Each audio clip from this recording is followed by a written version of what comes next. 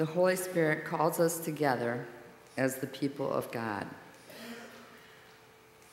Holy God, you alone are holy. You alone are God. The universe declares your praise. Beyond the stars, beneath the sea, within each cell, within each, with every breath, we praise you, O God. Generations bless your faithfulness. Through the water, by night and day, across the wilderness, out of exile, into the future. We bless you, O God. We give you thanks for your dear Son, at the heart of human life, near to those who suffer, beside the sinner, among the poor, with us now. We thank you, O God. Holy God, holy and merciful one, holy and compassionate, send upon us your Holy Spirit, whose breath revives us for life, whose fire rouses us to love. Refresh us with the power of your Spirit.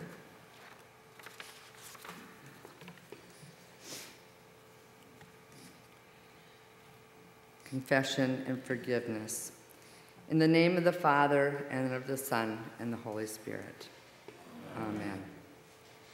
Almighty God, to whom all hearts are open, all desires known, and from whom no secrets are hid. Cleanse the thoughts of our hearts by the inspiration of your Holy Spirit, that we may perfectly love you and worthily magnify your holy name, through Jesus Christ our Lord. Amen. Let us confess our sin in the presence of God and of one another. Most merciful God, we confess that we are captive to sin and cannot free ourselves. We have sinned against you in thought, word, and deed, by what we have done and by what we have left undone. We have not loved you with our whole heart. We have not loved our neighbors as ourselves. For the sake of your Son, Jesus Christ, have mercy on us. Forgive us, renew us, and lead us, so that we may delight in your will and walk in your ways to the glory of your holy name. Amen. God, who is rich in mercy, loved us even when we were dead in sin and made us alive together with Christ. By grace, you have been saved. In the name of Jesus Christ, your sins are forgiven. Almighty God, strengthen you with power through the Holy Spirit, that Christ may live in your hearts through faith. Amen. We'll now sing the gathering song, What a Friend We Have in Jesus.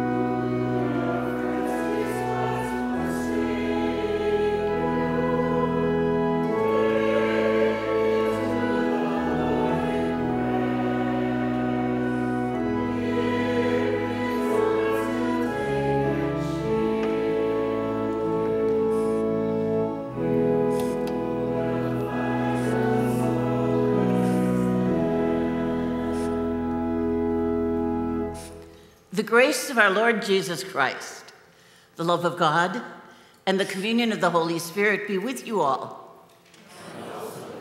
Let us pray. Almighty and ever living God, you are always more ready to hear than we are to pray, and you gladly give more than we either desire or deserve. Pour upon us your abundant mercy. Forgive us those things that weigh on our conscience, and give us those good things that come only through your Son, Jesus Christ, our Savior and Lord. Amen. We're going to make some fun music right now. Some of you remember that post, pre COVID rather, before all the shutdowns, we have this collection of colored bells. We have a wonderful bell choir, but we got to have a chance for those who do not play the bells very well or they play other instruments very well. All you have to do is be willing to be a dingling, and it works just fine. So here's what we do, because it's been a long time since we've done this. We have these colored chords, and if I point at this key and you happen to have a red bell, you ring it. If I point down here and you happen to have a blue bell, you ring it. So it's just a matter of following the chords. We're going to make music by the numbers as we go today. Now, I'd like to pay a little special attention to some people who are special uh, occasions today. Bev Jertson is celebrating her 90th birthday this weekend. And I know you're out there someplace, but I can't see, so there we go. There you are. Congratulations, Bev. And we're going to take just a moment to sing happy birthday to you. And let's start on the same note. Num, num, num, num, num. Happy birthday to you. Happy birthday to you. Happy birthday, dear Bev. Happy birthday to you. And it's good to have you here and a very special birthday with family around. We love you here and gl- glad to have you in person at worship. We also have a very special occasion with the 40th wedding anniversary of Elliot and Karen Grendel. And there's been a lot going on, so absolutely congratulations there. And the flowers on the altar are for their anniversary. So I'd especially like anyone from the Jertson family, and bring kids up, that's fine. And if you, Elliot and Karen, come on up. Let's be dinglings this morning.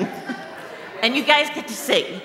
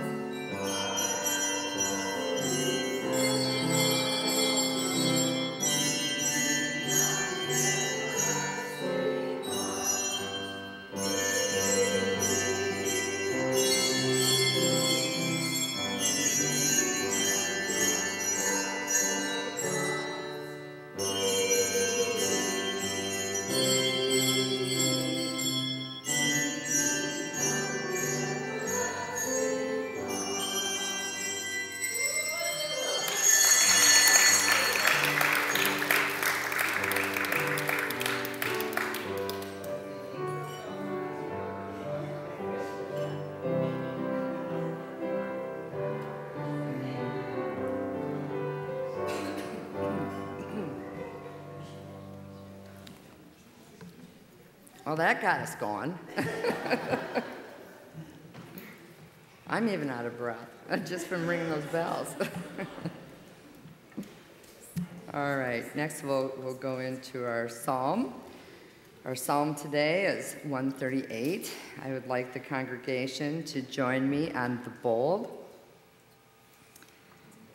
I will give thanks to you, O Lord, with my whole heart. Before the gods, I will sing your praise. I will bow down toward your holy temple and praise your name because of your steadfast love and faithfulness. For you have glorified your name and your word above all things. When I called you, answered, when I called, you answered me. You increased my strength within me. All the rulers of the earth will praise you, O Lord, when you have heard the words of your mouth. They will sing of the ways of the Lord, that great is the glory of the Lord.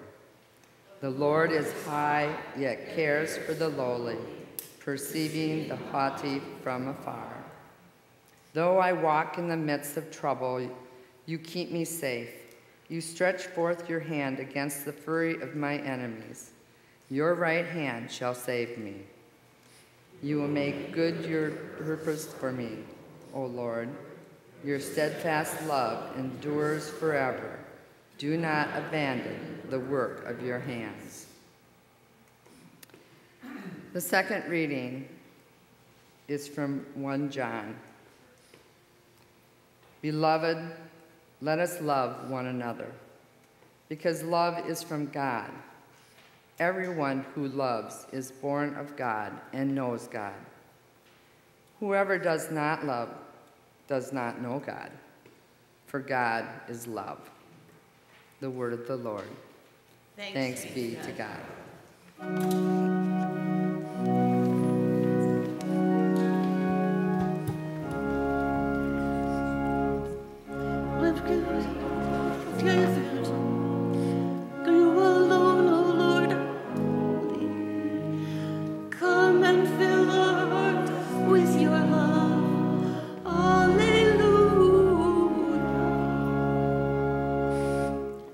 Holy Gospel according to Luke, the 11th chapter, verses 1 through 13. Glory to you, O Lord. Jesus was praying in a certain place, and after he had finished, one of his disciples said to him, Lord, teach us to pray, as John taught his disciples. Jesus said to them, when you pray, say, Father, hallowed be your name. Your kingdom come. Give us each day our daily bread, and forgive us our sins, for we ourselves forgive everyone indebted to us. And do not bring us to the time of trial. And then Jesus said to them, Suppose one of you has a friend and you go to him at midnight and say to him, Friend, lend me three loaves of bread, for a friend of mine has arrived and I have nothing to set before him. And he answers from within, Don't bother me. The door has already been locked. My children are with me in bed. I can't get up and give you anything. I tell you, even though he will not get up and give him anything because he is his friend, at least because of his persistence, he will get up and give him whatever he needs. So I say to you, ask, and it shall be given to you. Search, and you will find. Knock, and the door will be opened for you. For everyone who asks receives and everyone who searches finds, and everyone who knocks, the door will be opened. Is there anyone among you who, if your child asks for a fish, will give him a snake instead of a fish? Or if a child asks for an egg, will you give him a scorpion? If you then, who are evil know how to give good gifts to your children, how much more will the Heavenly Father give the Holy Spirit to those who ask Him? The word of the Lord. Praise to you, O Christ. You may be seated. Young people, come on up. We've got time for everybody.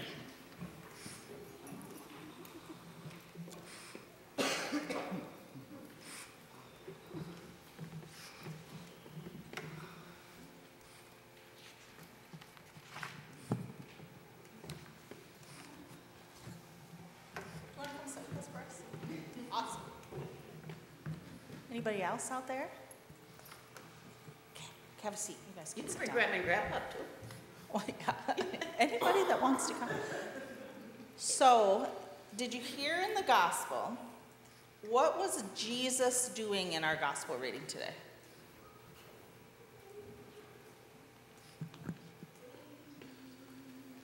He was praying. Yep, good one. Yep. And his disciples asked him to teach them to pray. So that's where we get the Lord's Prayer from, right? In, our, in, in the Bible, that comes directly from the Bible. Who teaches you to pray? Pastor Betsy. That's a good one. She does do that every Sunday. Who else teaches us to pray? Your mom. Thank you, mom. Yes, good. Anybody else? The staff at church. Excellent, thank you. Jesus teaches us to pray. Good one. Yep. I think all the people out here, by their example, teach us to pray. We pray together every week, right? And maybe our Bible school teachers and maybe our Sunday school teachers teach us to pray. Now, is there one way to pray? Just only one way, and that's the only way to do it? No. So, when you pray at home, what do you do with your hands? You do that, okay? Does anybody hold hands when they pray? Yeah? Some of you hold hands when you pray at home. Maybe around the dinner table, some people hold hands. Sometimes I've seen some people hold their hands up as they pray. They're opening up their minds and their hearts to hear what um, Jesus has to say in the prayers, right? So we can do that. Do you think, um, have you ever been at school or have you ever been um, somewhere and you needed to say a little prayer, but you didn't want to take the time to hold your hands together and close your eyes because you're walking, right? Can you just pray in your mind throughout your day? Do you have to do all the actions? Is that important? No, we can all just talk to God, talk to Jesus, no matter what we're doing, right? And no one, we don't always know that that is happening, right? You can pray at school, you can pray at the mall, you can pray at the swimming pool, you can pray all throughout your summer, right? So I want you to remember that, that you don't have to be on your knees, you don't have to fold your hands. Now, all of those things don't have to happen. We do those things sometimes to center ourselves, to quiet ourselves, so, our, so we're more thinking about what we're doing. But sometimes we can say a quick prayer in our mind, and we don't have to do all those things, right? So, can you pray with me? And you can fold your hands, you can hold your hands up, or you can simply just sit quietly, right? Repeat after me Dear Jesus, Dear Jesus, we thank you we thank you for teaching us to pray for teaching us to pray and for sending people to us and for sending people to us that help us to pray. that help us to pray. Lord, we love you Lord, we love you and we know you love us. and we know you love us. And all God's children said, Amen. Thanks for coming up. So I have some papers and maybe a little piece of candy.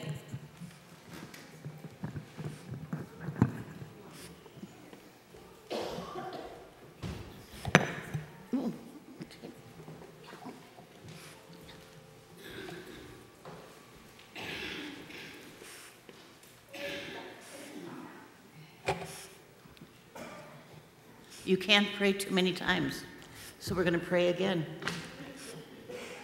O Lord, Fill us with the power of your Holy Spirit. Let each word spoken today be your word of truth. And by that same Holy Spirit, open our hearts to your mercy and grace. Amen. God is personally involved with the details of your everyday life. One of the things I like about summer is that it's an everyday, ordinary kind of time. I don't have to be always planning for the next big, huge event like Christmas or Easter or something like that. It's a time when we go from day to day and watch the beautiful blue sky and clouds when they come, and when we watch the crops growing, when we have a little bit of time when our schedules are a bit different. Everyday living is important. So today we want to think a little bit more about the everyday life of a person who shows the gifts and the fruits of the Spirit in their lives. We've been talking all summer about the fruit of the Spirit that comes to every person who is connected to God, to every person who is able to receive the love that God gives. And we've been talking about things like joy and peace. Today's talk is about love and the way we see that through prayer.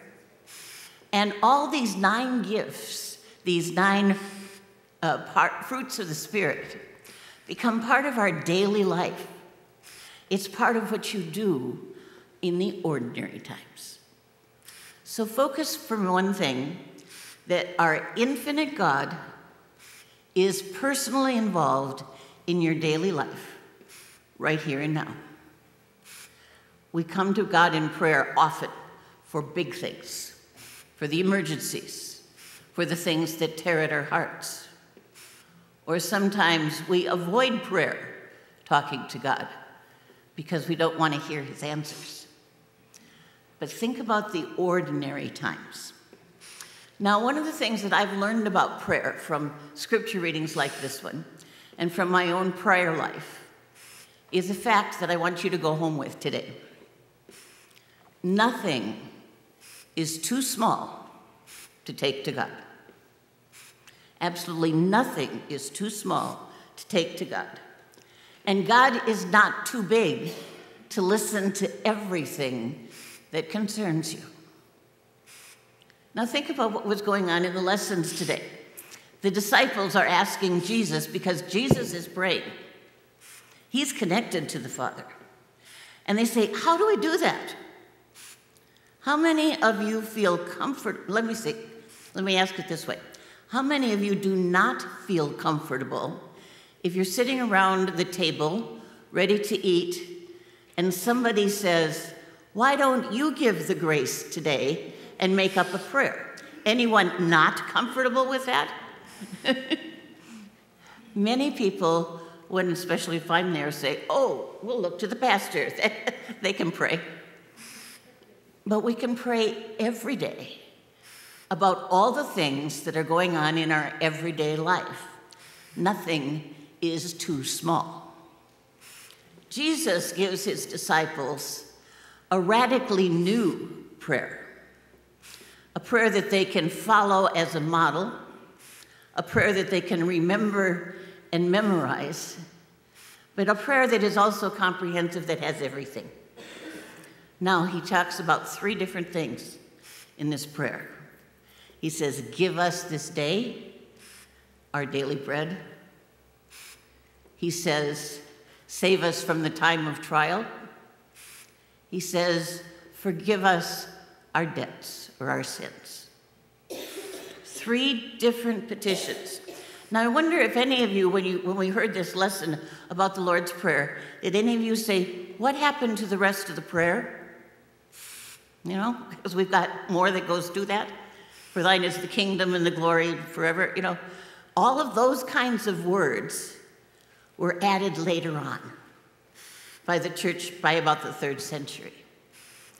This Lord's Prayer is in every language, it is in every true different culture, and it changes with the generations because the words have to mean something to the heart and to the mind.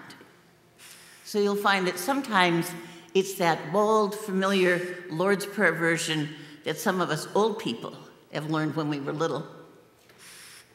And yet, sometimes it is a newer version that speaks to the hearts of the ones that are growing in faith now. We have many ways to pray, but Jesus gives us the model. Now, it's interesting that Jesus uses stories about people in their weakness when he talks about prayer or when he wants to teach us something. We have to be willing to listen. We have to be willing to be involved with what God is about at the moment when we want a two way prayer. Jesus tells a story about a householder who has an unexpected guest. And at midnight, he goes to his neighbor and says, Please open up, I need bread. I have to entertain and feed this traveler that has come to my door. Now, a little bit of a backstory. The homes in Jesus' day were simple. They were often one room, sometimes a flat roof, so you had a balcony kind of thing and a place where you could uh, work out in the sun with uh, kneading bread or whatever you were going to do up on the rooftops. And when it came time for sleeping, the stools and benches were cleared to the side. Out came the sleeping mats all over the floor, and the whole family laid down to sleep in the one room. It's kind of like an overnight camping thing when everybody comes. Now, the householder knocks on the door, and the one who lives in that house is saying, I can't get out. They're my children, they'll wake up. You're disturbing the whole household. Not only that, you're too loud for the neighbors next door. Everybody knows you're in trouble. And the fellow doesn't want to get up. He doesn't want to help. He doesn't want to show that love that they normally have for neighbors. And yet, the persistent knocking at the door made the man get up and give him the three loaves. Here's the clincher Jesus says, if a householder who is making up excuses and doesn't want to do it is merciful and kind and gets up and goes the extra mile anymore, how much more can your Heavenly Father, who is not too big to handle all the everyday things in life, how much more will God, who loves you in every everyday circumstance of your life, how much more will He gladly and generously come to your aid? Now, nothing is too small. I hope you bring all the small things. Someone said, Hmm, is it okay if I pray for a parking place? I finally found one, and, and, and I was doing a bargain with myself that I would go to the bakery and get the jelly donut if I found a parking place right in front of the, of the bakery. So I was praying, Lord, if I'm supposed to have the jelly donut, please let me find a parking place. On the fourth try around, I did. we have all these little things, and it's okay. Be in conversation, be looking for the answers that God gives. God is personal, God will listen, and He is infinite. Now, the other thing I'd like you to remember today is that not only nothing is too small, but nothing is too hard for God. Remember that. Nothing is too hard for God. We get caught up sometimes with our images of God, and sometimes we say, Well, I won't bother him with that. I should be able to do that myself. But God is interested in the everyday things that you do. God loves you. God strengthens you with his love. God gives love in generous and profound ways, and he's just waiting for you to participate in that glorious, wonderful gift. And God is more than enough to handle any of our needs. Nothing is too small, nothing is too hard for God, because our infinite God is personally related to you in everyday things. And I'd like to share with you something that's happened recently in my own prayer life. I, like Gina said, there are lots of ways to pray. And most of the time, I have this running conversation going with God. It's about all the kinds of things that are going on. And especially since I'm living alone now, I talk to God in all kinds of surprising ways, and I listen for what He says. Now, the other night, it was a particularly frustrating time for me. I'm usually very sweet. I don't get excited very often. And things, you know, are usually under my control. Not this day. Everything seemed to be going wrong. And I kept meeting up with the disabilities that I'm finding in myself. Sometimes I get help up the stairs. Thank you, Gina. Thank you for so many of you who have helped me in the little everyday things that have been needed. But this particular day, nothing seemed to be going right. I was trying to get my pills in order, and I dropped the pill container for the middle of the day pills all over the floor. And then I couldn't find the container. It perhaps had gone under the bed or something like that. Not too much space between the bed and the chair. And that was frustrating. And then I couldn't find the pen, the pen, at the chair. I was going to try to take a little time out and cool my mind down and do a crossword puzzle. Okay, we'll change gears. Could not find the pen, the pen, and I would have had to go all the way out to the kitchen to find another one. That had fallen on the ground too, someplace. I moved the chair. I peered under the bed as far as I could. I can't get down on my hands and knees or I'll never get up again. I found that a couple days earlier than that, my bed, which is one of those great adjustable things, I can get my head up at night, my feet up at night. It's wonderful. Get one if you don't have one. Anyway, uh, it wouldn't go up and down. So there I am propping up pillows because there's nothing I can do to make the bed go up and down. And I changed batteries in the remote control for the bed. Didn't work. So I'm trying to figure out now what to do. So I put it on Tim's list. That's my nephew. And Tim's list is a running list of things that I can't reach, that I can't quite get to, that it would be a two second thing for him to do and a 20 minute thing for me to do. So there's always a list. And the bed still wasn't working. Everything I turned to was frustrating, it was hurting, I was getting a pity party for the things that I just couldn't do. So here in my impatience, I'm trying to cool down and get myself under control. And all of a sudden, I feel a waft of the Holy Spirit. And I look up and I say, Oh, it's lesson time, isn't it, God? Well, here I am. I think you want to teach me something. So I started to listen.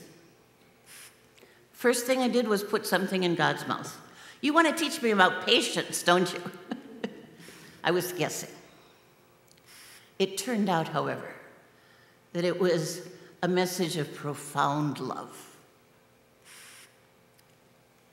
God was there, I was there, and we started the conversation with, okay, God, it's you and I.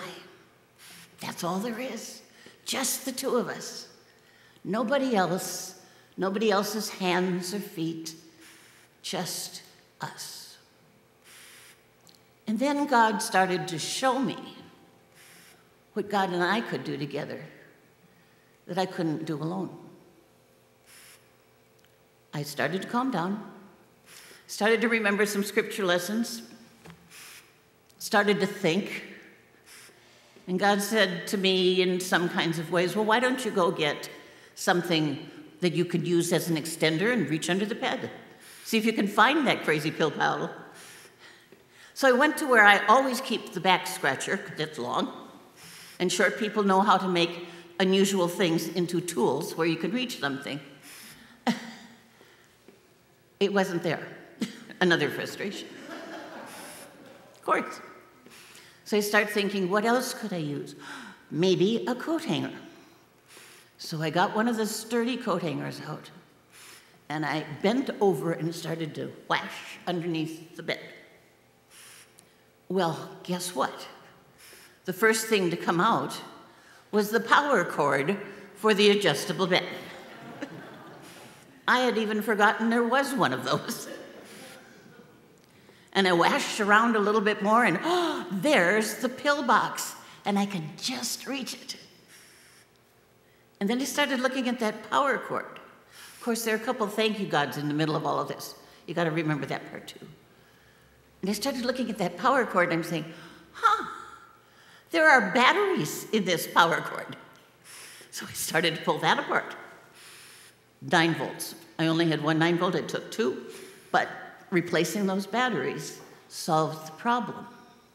And my bed went up and down again.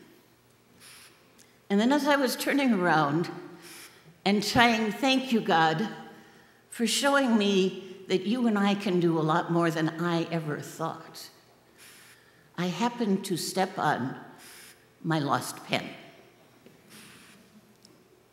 God was showing me love one of the things I marveled at. God has always been an incredible, infinite, powerful spirit of something beyond my imagining, someone accessible but yet more powerful than anything we can know. But I haven't imagined God with hands and feet. That's where you are. You're the hands and feet of God. And we depend upon each other to help each other. And that's where that love of God that comes to us goes. And we reach out to other people in the world, and the love increases and it shows us who we are. We belong to Him. But all of a sudden, it wasn't just Jesus' arms while He was human here. God Himself had the arms to help me reach under the bed. And I crossed a whole lot of things off of Tim's list. And he said, I get it. God and me are enough. Nothing is too small. Nothing is too hard. And I hope you will go out this week thinking your prayers for the ordinary times for the little things, for the thanksgivings, for the way that God gives you his incredible love, because he is right there surrounding you with his arms around you. Just look at the love that God has for you, that we can be called the children of God. Amen. Let us pray. Almighty God, thank you for your love. Thank you for teaching us and for listening to us and teaching us that we are your children in love. In Jesus' name we pray. Amen. Let us turn now to our next song. Um, what wondrous love is this?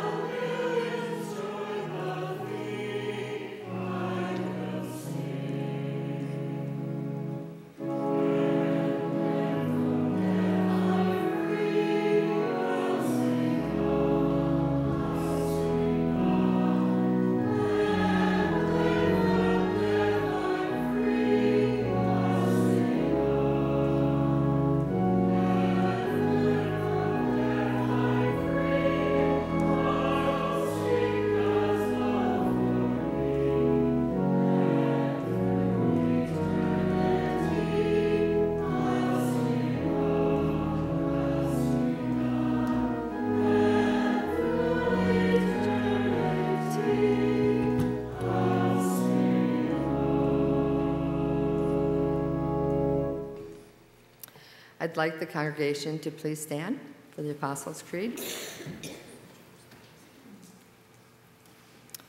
I believe in God, the Father Almighty, creator of heaven and earth. I believe in Jesus Christ, God's only Son, our Lord, who was conceived by the Holy Spirit, born of the Virgin Mary, suffered under Pontius Pilate, was crucified, died, and was buried. He descended to the dead. On the third day, he rose again. He ascended into heaven. He is seated at the right hand of the Father, and he will come to judge the living and the dead. The Holy Spirit, the Holy Catholic Church, the communion of saints, the forgiveness of sins, the resurrection of the body, and the life everlasting. Amen. You may be seated.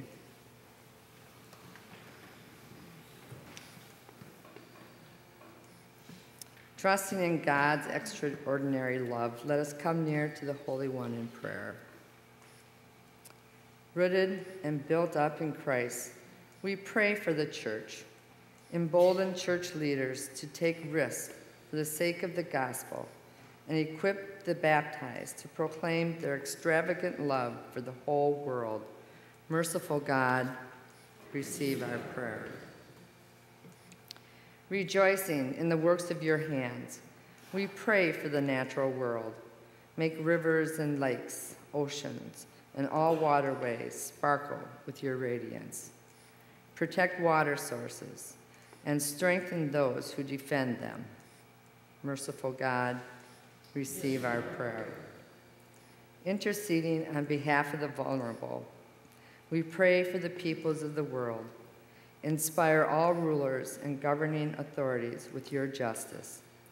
Guide the work of legislators and public officials, that they advocate for the well being of those they serve. Merciful God, receive our prayer. Persistent in prayer, we pray for our neighbors in need. To all who have hunger, give daily bread. To all who have bread, give hunger for justice. Open us to the cries of those who suffer, those made refugees by war and conflict. We intercede for the people of Ukraine and Yemen and all who have to, who have to flee their homes. Merciful God, receive our prayer. Abounding in thanksgiving, we pray for this congregation. Bless the prayer and fellowship ministries in this place. Call us together in times of praise and blessing, trouble and sorrow. In your holy name, merciful God, receive our prayer. Buried with Christ in baptism and raised with him to new life, we give thanks for your saints who rest in your eternal presence. We remember Marv, Thomas, Doris, Rhonda, and others on our hearts. Join our voices with theirs as we, as we sing of your great glory. Merciful God, receive our prayer. Receive the prayers of your children, merciful God, and hold us forever in your steadfast love. Through Jesus Christ, our holy wisdom. Amen. The peace of Christ be with you always. And also with you.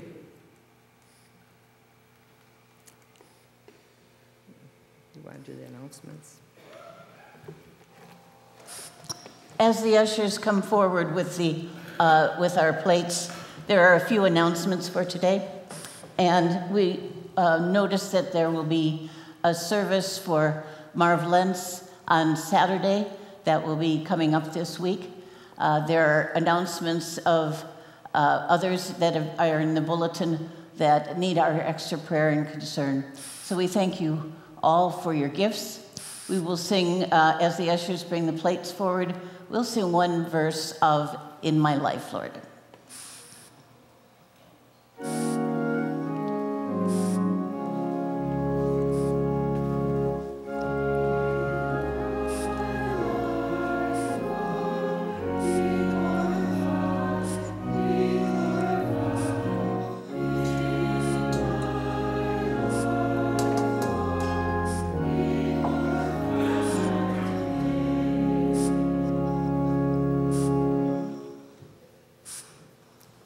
Let us pray. Holy God, gracious and merciful, you bring forth food from the earth and nourish your whole creation. Turn our hearts toward those who hunger in any way, that all may know your care, and prepare us now to feast on the bread of life. Jesus Christ, our Savior and Lord. Amen. As we prepare for this gift of Holy Communion, we remember that the bread and the wine are God's gift of body and blood. We are going to move directly from the dialogue to the words of institution. The Lord be with you. Lift up your hearts. Lift them to the Lord. Let us give thanks to the Lord our God. It is right to give our thanks and praise. In the night in which he was betrayed, our Lord Jesus took bread. He blessed it, he broke it. He gave it to his friends, saying, This is my body given for you. Do this in remembrance of me. After the same manner, he took the cup. When he had given thanks, he gave it for them to drink, saying, Drink of it, all of you. This cup is the new covenant in my blood given and shed for you and for all people for the forgiveness of sin. Do this in remembrance of me. As we have this bread and with this wine, we remember the mystery of faith. Christ has died, Christ is risen, Christ will come again. The bread and wine are ready for you. Please come and eat.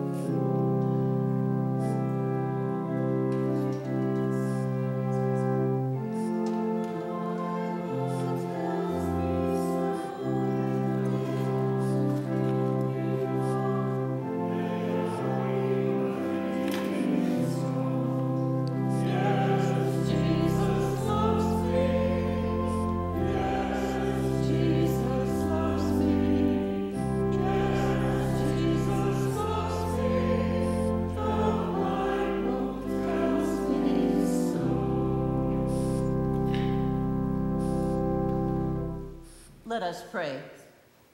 O God, we give you thanks that you have set before us this feast, the body and blood of your Son. By your Spirit, strengthen us to serve all in need and to give ourselves away as bread for the hungry through Jesus Christ our Lord. Amen. The Lord bless you and keep you. The Lord's face shine upon you and be gracious to you. The Lord look upon you with favor and give you peace. In the name of the Father and of the Son and of the Holy Spirit. Amen. Our sending song is one that you better stand up for because we're standing in the need of prayer. and anyone who wants to play a musical instrument, come on up, kids. Come on up. Or some of you who are older, we'd love to give those out. For anyone who wants to sing, standing in the need of prayer.